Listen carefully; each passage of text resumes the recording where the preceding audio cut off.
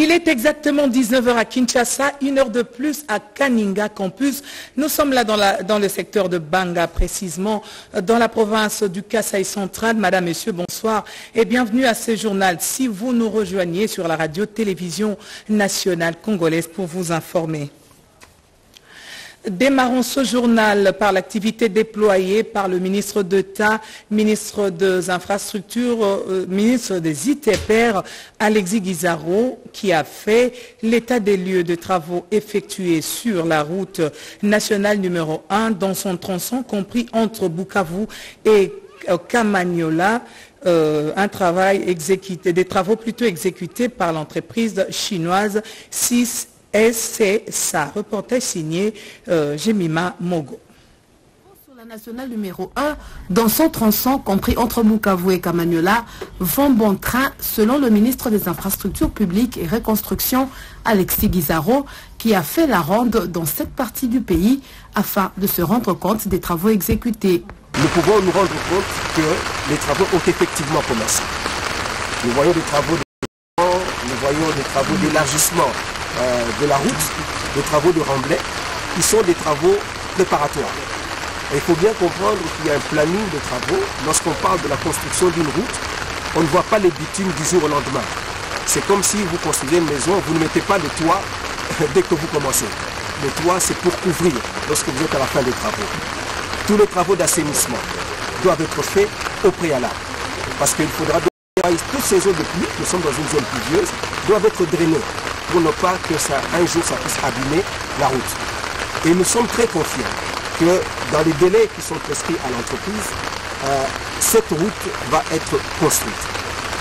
Il faudrait qu'on se souvienne que c'est la première fois. Jamais la route n'a été construite ici. Nous ne sommes pas dans une réhabilitation, nous sommes dans une construction de route. Notons que cette délégation été composée de la firme Sino Hydro, de l'Agence congolaise des grands travaux au maître d'ouvrage et de l'entreprise CISC qui conduit ces travaux. Partager les expériences entre l'Afrique du Sud et la République démocratique du Congo sur les violences basées sur le genre. C'est l'objectif de l'atelier euh, organisé par l'accompagnement de malades à domicile et réhabilitation un atelier de formation et de sensibilisation qui a réuni les hommes et femmes valides et invalides. Rodépanda. Les violences faites à l'homme sont multiples. Les violences sexuelles ne sont pas forcément les violences basées sur le genre, moins encore les violences économiques.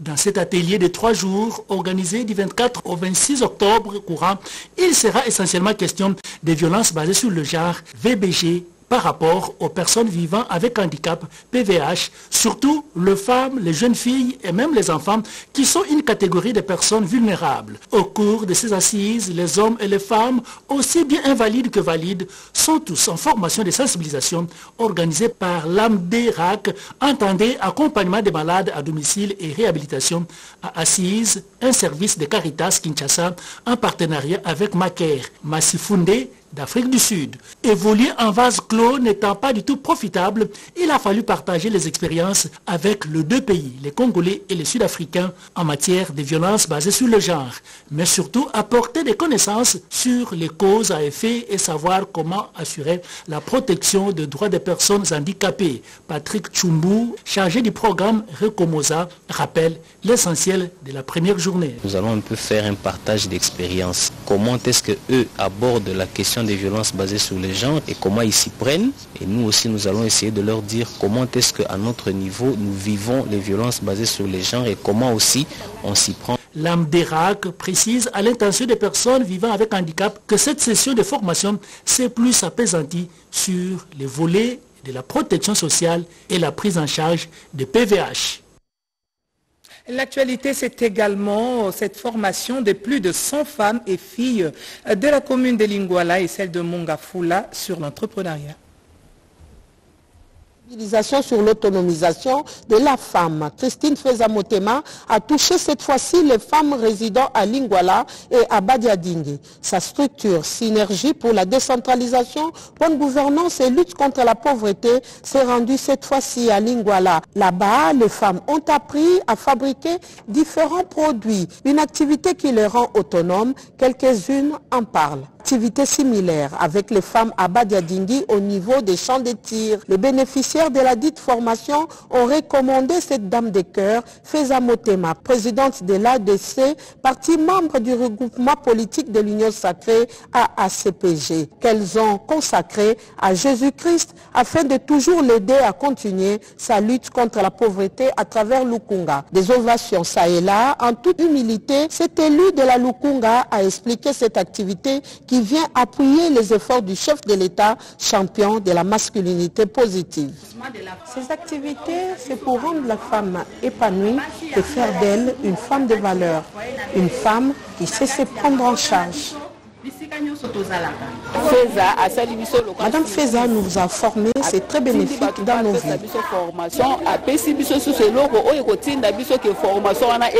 Notre maman ne peut pas rentrer main vide. Nous lui offrons ces cadeaux en guise de reconnaissance.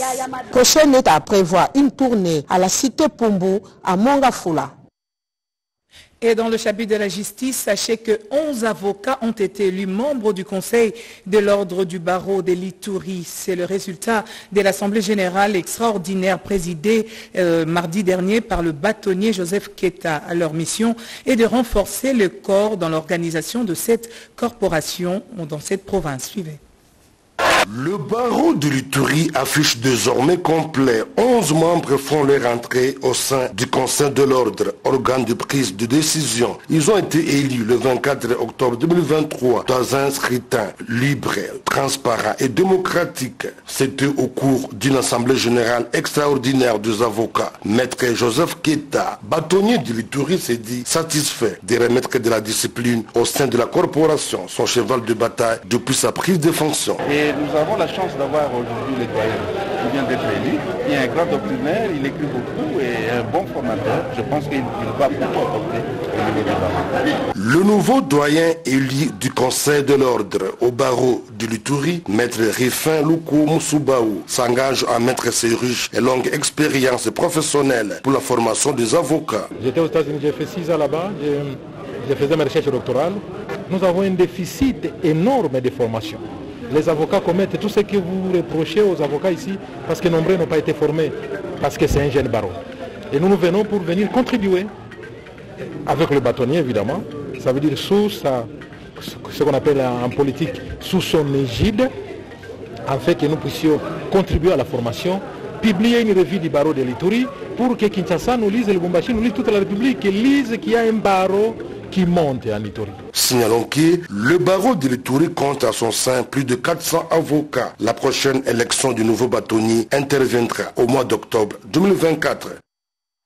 Et dans le Kassai oriental, la première institution d'enseignement supérieur et universitaire a ouvert le troisième cycle, une cérémonie présidée par le professeur émérite Boura Poulounio en présence euh, d'une pléiade de professeurs d'université. Reportage solennel dans la salle polyvalente Raphaël Ambret de l'organisation et du fonctionnement du troisième cycle dans son volet appelé diplôme d'études approfondies DEA à l'ISP de Mbujimaï qui aujourd'hui figure parmi les dix poules créées en République démocratique du Congo dans le cadre des ISP et des ISPT de la République. À l'annonce de cette décision par le professeur émérite Boura Poulounio, PCA des ISP de la République démocratique du Congo, les participants à cette cérémonie l'ont accueilli avec des acclamations frénétiques. Prenant son tour la parole, professeur Célestin Koubela, DG de l'ISP Mboujima, a salué cette décision qui vient hisser cette première institution universitaire du Kasaï oriental au rang des grands. C'était avant de donner les avantages qu'apporte le troisième cycle à l'ISP. Ce troisième cycle en didactique des disciplines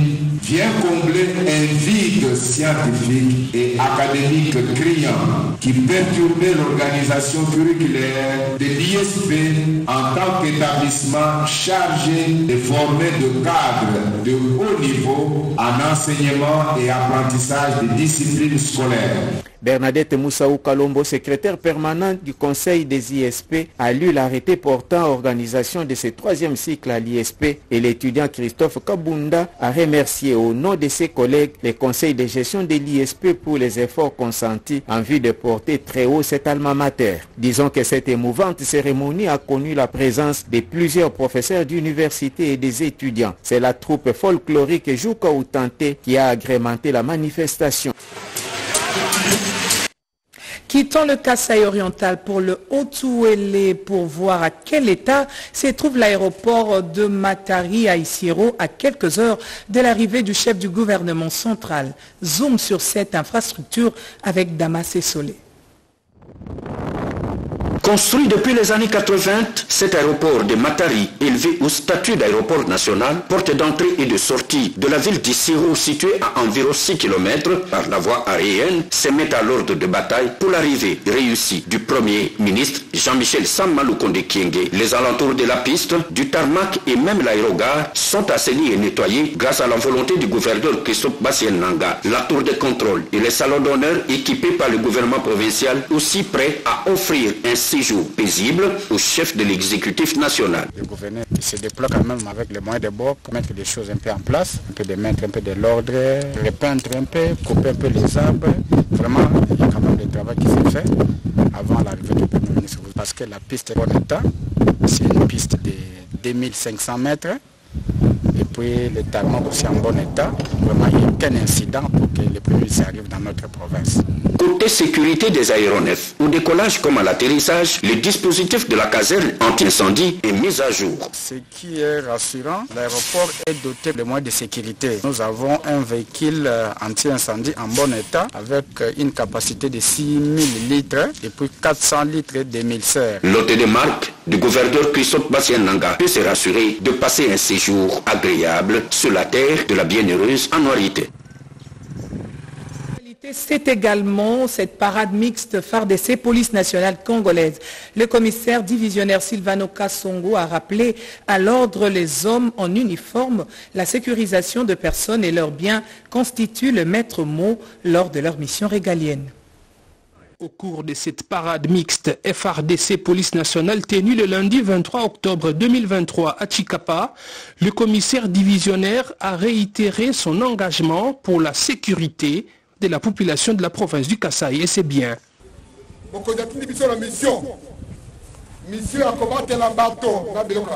Silvano Kassongo a rappelé aux policiers et aux militaires leur mission qu'ils doivent remplir sans faille. Le commissaire provincial de la police au Kasaï a insisté sur la discipline qui doit caractériser ces troupes.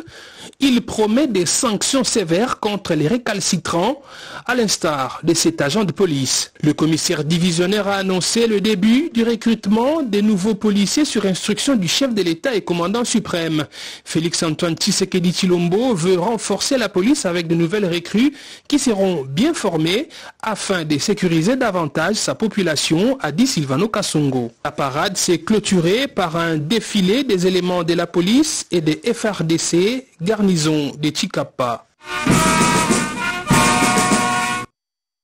Les fidèles de l'église Bundudia Congo plaident pour l'effectivité de la gratuité de l'enseignement à Kimpese dans le Congo central. Veut exprimer au cours de l'entretien avec euh, Corinne Keta, présidente de l'association des grandes dames, venue partager avec eux la douleur de la disparition de leur chef spirituel, Nemwandan Semi. Commentaire Sylvie Moembo. Tristesse, désolation pour les fidèles de Bundudia Congo, la mort de leur chef spirituel, Nemwanda Semi, survenu à Kinshasa le mercredi 18 octobre dernier à l'âge de 77 ans, a créé un vide à la tête de la communauté de Bundudia Congo. Très éprouvée, fille du terroir, Madame Corinne Kessa, présidente de l'association Les Grandes Dames, se joint au malheur qui vient de frapper à la porte de la famille Né Congo par la disparition du député national Feu Zachary Bandiengila, plus connu sous le nom de Némoanda Semi. La situation qui présente la gratuité de l'enseignement a inspiré les femmes de l'église de Bundu Dia Congo, extension de Kimpese dans le Congo central, de faire un plaidoyer aux autorités compétentes pour apporter la correction voulue à cet aspect du programme du chef de l'État. L'accueil que les fidèles de Bundu Dia Congo ont réservé à la présidente de l'association Les Grandes Dames n'est pas laissée indifférente, d'où cette expression de vif remerciement. Je me suis retrouvée à Kimpese lors de la nouvelle du décès du patriarche Nemwandansemi, chef spirituel de l'église BDK et président national du parti politique Bundu Dia Mayala. Nous avons trouvé la journée d'aujourd'hui bon pour venir compatir avec la communauté Bundu Dia Congo Reste à espérer que ces cris d'alarme sur l'effectivité de la gratuité de l'enseignement sera attendu par qui des droits. La cérémonie officielle des statuts de l'Association des anciens élèves de l'Institut pédagogique de Selembao à Sanips a eu lieu à Kinshasa. L'objectif de cette association est de promouvoir l'Institut pédagogique. Une déclaration faite par les anciens du dit institut, toute, euh, toute corporation ou toute promotion confondue. Nazer Moko, l'un des anciens de l'ISP, a présidé cette cérémonie. Les anciens de l'Institut pédagogique de Selembao à Sanips ont désormais les textes qui régissent leur association, à savoir les statuts et les règlements intérieurs. Au cours de cette activité, tous les membres anciens de l'Institut ont apposé leur signature sur ces documents qui marquent le début des activités d'Assanips, association des anciens élèves de l'Institut pédagogique de Selembao, qui sera désormais dirigé par Nazer Moko. Nous devons rapidement d'abord élaborer un plan d'action, mobiliser des moyens pour que nous puissions entamer déjà des actions prioritaires en faveur de, de l'Institut. Nous n'avons plus le temps de détraîner puisque les statuts sont là, l'association est née. Je souhaite que cette association qui vient de naître puisse fédérer pour que tous les anciens de cette école puissent euh, adhérer. Nous avons entendu ce qu'ils ont dit dans leurs mots. L'association va donc euh, contribuer au développement de cet institut. Une note particulière, la cérémonie a connu la présence des anciens parmi lesquels le professeur Georges Caillou qui a salué l'initiative et a invité les uns les autres à travailler pour l'épanouissement de l'association à l'instar d'Assanef qui a produit en son sein des personnalités politiques de haut rang. Assanips a pour mission l'amélioration de la qualité de l'enseignement, l'entraide, la solidarité, l'amour du prochain et de favoriser la coopération entre enseignants et anciens élèves IPES. Il y a un premier projet, l'amélioration des conditions d'études des élèves et des enseignants par la réhabilitation des infrastructures de l'Institut. La sensibilisation pour les élections s'intensifie dans la ville de Lubumbashi. Vision Fachi rénovée et son président national Kalimboui ont repris du service pour prêcher les réalisations du chef de l'État. Reportage. Résolument déterminé à battre campagne pour Félix Antoine Tshisekedi et à lui faire gagner un maximum de suffrages pour l'élection présidentielle du 20 décembre 2023, le président national du parti politique Vision Fachi Rénové affûte déjà ses armes. Samedi 21 octobre 2023, Kalim Bouyi a réuni ses principaux cadres de base à Lubumbashi. Objectif, mobiliser ses troupes et les ranger en ordre de bataille pour les élections de décembre 2023. Peaufiner des stratégies et sélectionner des personnes devant œuvrer pour la réélection de Félix Antoine Tshisekedi Chilombo au deuxième mandat. A devant ses lieutenants, réaffirmer l'engagement de la VFR de soutenir la candidature de Félix Tshisekedi et mouiller les maillots pour sa brillante réélection. Pour le président de la VFR, le bilan du premier mandat du président Félix Antoine Tshisekedi Chilombo mérite amplement que le peuple congolais lui accorde un second mandat. Président Ekonamouri à peuple congolais. 145 territoires. Marche. Kalimboui annonce ainsi une campagne électorale très engagée à partir du 20 novembre et invite ses militants à se tenir prêts.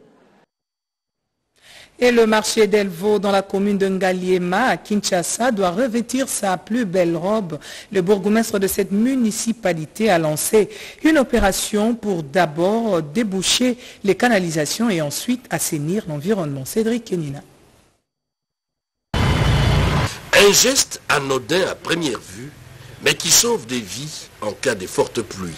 Les caniveaux bouchés, les déchets sur la voie publique ont des conséquences fâcheuses sur l'homme. Les cas de figure, inondations, maladies, deux facteurs à l'origine des drames. L'autorité municipale d'Engaliema, Dieu merci Maïba Ziluanga, anticipe pour assainir les milieux. Le marché en est l'épicentre. Les bourgmestres promettent des sanctions en cas d'incivisme. Nous sommes en train d'interpeller la conscience collective surtout pour les habitants euh, qui, qui, habitent les, les, les, alentours du rond-point de Lupin de prendre conscience. Le caniveau n'est pas le lieu propice pour jeter les immondices. Le lieu propice pour jeter les immondices est connu. Il serait souhaitable de, de les jeter au, lieu indiqué, au lieu de les mettre dans le caniveau pour, pour, pour, pour euh, causer du tort aux, aux agents publics de l'État. Donc nous sommes en train de, le faire et la personne qui sera surprise, on va le déférer aux instances judiciaires. Aujourd'hui, avec l'accompagnement de l'autorité municipale, euh, M. Maïbanzola Ngabidé merci. Ensemble, nous sommes en train de curer les caniveaux au niveau du rempart de l'État. Habitué aux itinérances, signe de son pragmatisme, le bourgmestre d'Engaliema annonce une série de descentes pour pérenniser cette action environnementale et sociale. Le président du conseil d'administration du Fonds de promotion culturelle a effectué une visite d'itinérance aux installations de la direction générale de FPC accompagné du directeur général adjoint, des directeurs et chefs des services ainsi que du directeur des ressources humaines et services généraux. Une visite sanctionnée par un échange entre les agents et cadres puisque la rédévance ad valorem permettra de promouvoir la culture congolaise, les conditions du travail des agents et cadres du Fonds de promotion culturelle préoccupent la haute hiérarchie. C'est mercredi 25 octobre 2023, plus qu'une visite d'itinérance, le président du conseil d'administration du FPC échange personnellement avec les agents et cadres de cette entreprise étatique, accompagné des administrateurs, du directeur général adjoint du FPC, Emani Dioko, dit s'imprégner à travers cette visite de conditions de travail des agents et cadres. Le président du conseil d'administration promet de tout mettre en œuvre pour l'amélioration de leurs conditions de vie. Euh, les conseils d'administration euh, par rapport à l'amélioration des conditions travail euh. Placé sous la tutelle du ministère ayant la culture et les arts dans ses attributions, le Fonds de promotion culturelle exerce ses activités sur toute l'étendue de la RDC. Il a pour principale mission financer et promouvoir les activités culturelles et artistiques sur toute l'étendue de la RDC. Parlons santé à présent. Les experts et autres partenaires de la santé sont à Kinshasa en atelier d'évaluation. Les participants à ces assises vont évaluer le niveau atteint par la RDC dans la mise en œuvre du plan RC entendait règlement sanitaire international, travaux ouverts par le secrétaire général à la santé, Yuma Ramazani. D'autres précisions dans ce reportage de Lucien Sakala et Iverson Kabwaba.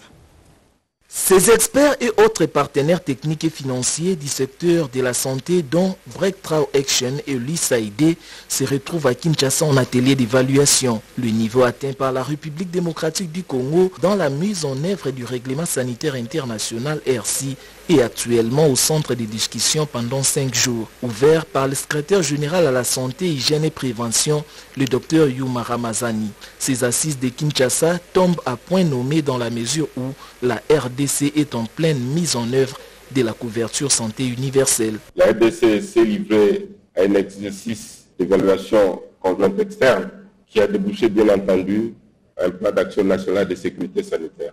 La sécurité sanitaire ne sera rien d'autre qu'un atout pour nous permettre encore davantage de pouvoir nous préparer, mieux nous préparer et bien riposter aux épidémies et autres urgences de santé publique. Aujourd'hui, nous avons beaucoup de problèmes en RDC en termes de, de maladies même évitables par la vaccination. Et la rougeole qui est là, il y a beaucoup de maladies qui s'invitent. Nous avons même pendant un moment nous parlons des manques qui est là, de se dire qu'au début de cet exercice, il va falloir vraiment nous aider à bien observer, à bien euh, analyser les scores, comme j'ai dit, qui a été euh, retenu dans le cadre de l'auto-évaluation pour nous permettre d'élaborer le prochain plan pour les cinq prochaines années.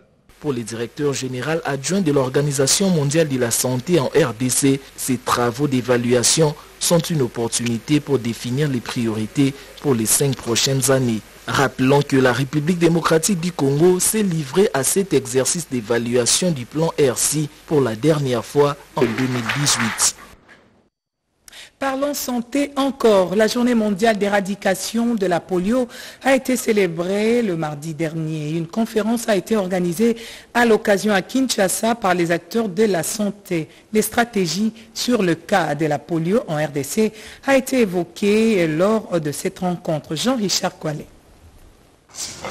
De 2017 à ce jour, la République démocratique du Congo a enregistré 960 cas d'enfants paralysés à cause du poliovirus. C'est ce qui a été démontré par des acteurs de santé au cours d'une conférence de presse organisée à Kinshasa par Rotary Club de la capitale congolaise à l'occasion de la journée mondiale pour l'éradication de la poliomélite. Selon les conférenciers, la polio est à ce jour éliminée dans le monde à hauteur de 99,9%. On travaille en étroite collaboration avec euh, euh, des acteurs locaux qui peuvent euh, assurer un peu cette ce passage-là pour que les vaccins arrivent dans les, dans les coins les plus, les plus en conflit. C'est vrai que dans les zones où les conflits sont encore ouverts, où vraiment les armes sont en train de crépiter, c'est difficile effectivement d'organiser de manière optimale. Et là, on, vaccine souvent les enfants dans les camps, de là où ils sont déplacés, et on leur a, on, on amène des interventions. La RDC a recensé l'année dernière 377 cas pour le poliovirus de type 2 et compte depuis début 2023 108 cas. Quant au variant poliovirus de type 1, 143 cas ont été enregistrés en 2022 et 76 cas depuis le début de cette année. Un plan stratégique a été mis en place avec une série d'interventions pour faire face à cette épidémie délégation de l'agence de corporation internationale de la Grande-Bretagne FCDO venue de Londres en visite à Kinshasa s'est rendue à l'hôpital de référence de Makala. Objectif évaluer les travaux réalisés par AIPAS International. Plus de détails dans ce reportage de Toto Céleste Sungu. Il y a de cela cinq ans que l'AIPAS, ONG internationale, a bénéficié d'un appui financier de FCDO, Agence de la coopération internationale de la Grande-Bretagne. Ce financement était un appui pour la promotion des droits des santé sexuelle et reproductive, y compris l'accès à la contraception et au planning familial, mais aussi à l'accès aux soins complets d'avortement centrés sur la femme, sans inclure l'accès à l'information, l'accès également à des médicaments de qualité, la formation des prestataires, les équipements pour la formation sanitaire en vue de s'assurer que les services fournis au niveau des centres de santé et des hôpitaux sont de qualité. L'hôpital du sénatorium ou l'hôpital euh, général de Makala, c'est un des hôpitaux les plus importants pour nous parce que c'est là où on trouve l'un des plus actifs centres d'excellence. Et, et ce centre, c'est un centre d'apprentissage mais aussi un centre d'offre de services où euh, les femmes peuvent accéder à des services santé de la reproduction, que ce soit la contraception, que ce soit l'avortement, que ce soit les violences sexuelles basées sur le genre. Ils peuvent recevoir des services euh, selon qu'ils le souhaitent au moment où ils le souhaitent. Le centre est ouvert à 24 heures sur 24, 7 jours sur 7. Et puis c'est un centre qui est intégré dans le système de santé. La communauté congolaise a besoin des informations nécessaires pour pouvoir identifier les services mis à leur disposition peuvent leur être utiles. Et en politique, l'action commune pour la République se mobilise pour soutenir les actions du chef de l'État. Euh, son président national, Ben Carlos Kainda, est arrivé à Lubumbashi pour entreprendre plusieurs activités, images et commentaires. Son expérience, sa notabilité et son sens managérial l'avaient déjà précédé de cette mobilisation à l'aéroport de Loineau. Sa vision sociale et ses airs philanthropiques l'ont conduit jusque dans la capitale préfère. L'homme voudrait impulser ses activités à l'échelle du pays tout en arborant la vision primaire du chef de l'État, Félix-Antoine Tshisekedi Chilombo, qui place l'homme au centre de toute action. Ben Carlos Yanda, parce que c'est de lui qu'il s'agit, a mis toutes les batteries en marche pour rendre son séjour fructueux et prometteur. À la tête d'une forte délégation, des investisseurs et d'autres membres de sa fondation, l'homme revient ici sur le mobile de sa visite dans le Haut-Katanga. Nous nous irons Fachi Béton, rien que lui, de manière que nous l'amenons à donner à la population ce qu'ils ont besoin et à accomplir bien sûr tous les projets sociaux qu'il a toujours prôné pour la population. Pendant que la RDC s'apprête à organiser les échéances électorales, l'homme soutient Félix Antoine Tshisekedi Chilombo et ne jure que par son nom, d'où son adhésion à l'Union sacrée à travers son parti politique Action commune pour la République, en abrégé ACR. Sous la conduite de l'autorité municipale de Kenya, Madame Bachim Nyembo, membre effectif de l'UDPS, la délégation s'est dirigée à la salle de cérémonie Athénium, située en plein cœur de la ville de Lumbashi, où l'attendaient plusieurs membres de l'UDPS et ceux de sa fondation qui porte son nom. Il compte le placer haut pour la réélection de Fatih Béton. C'est donc un mariage scellé entre Ray Bachil Nimbo, secrétaire de l'UDPS, et M. Carlos Yanda, membre de l'Action commune pour la République, tous partis politiques, membres de l'Union sacrée. Et à la veille des élections en RDC, Mme Akassia Bandoubola Mbongo, cadre de l'UDPS et présidente de la Fondation Acacia en Action, a entamé une tournée de sensibilisation et d'enseignement à l'éducation électorale. La commune de Kitambo a constitué l'une des étapes de sa tournée le week-end dernier. Guy, Guy Kitiki nous en dit plus. Les jours J approchent à grands pas où le peuple congolais sera appelé à opérer un choix judiciaire. L'heure est venue pour que ceux qui sont censés opérer ce choix soient devant leur conscience, soient aussi avertis et acquièrent un civisme électoral. C'est ce à quoi Mme Makassia Bandobo Lambongo, au cadre de l'UDPS et présidente de la Fondation Akare, s'est attelée avant la date fatidique. Elle a effectué le week-end dernier une série des enseignements citoyens, précisément sur l'attitude à adopter avant, pendant et après les échéances électorales. Première étape, dans la commune de Kitambo, le foyer social où elle a échangé avec les personnes vulnérables et vivant avec handicap, pensionnaires du foyer sur les élections, car elles sont aussi autant concernées que de personnes valides. Dans la poursuite de cette action de l'éducation Bandoubo Lambongo a rencontré les membres de sa fondation qui l'attendaient dans la grande salle du stade Vélodrome. Elle a porté le même message, n'est pas se laisser faire et se laisser avoir pour des gains matériels. Plutôt, réfléchir et être conscient du bon choix à opérer, car l'avenir du pays et votre propre avenir en dépend. Le changement ne vient pas pour des biens matériels ou des miettes qui vous seront proposés. Et la dernière étape, ce sont de jeunes présidents des cellules qui ont été utilement enseignés sur le civisme électoral. Akatia Bandoubo Lambongo a rappelé à l'assistance les vertus d'un bon électeur et celles d'un bon dirigeant. Il y a lieu de soutenir le président de la République, Félix Antoine Tshisekedi Chilombo, pour la simple et bonne raison que ses œuvres continuent de parler et qu'il lui faut poursuivre afin de le finaliser.